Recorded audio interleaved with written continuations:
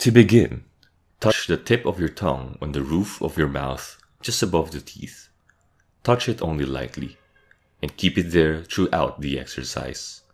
When you hear this sound, inhale through your nose.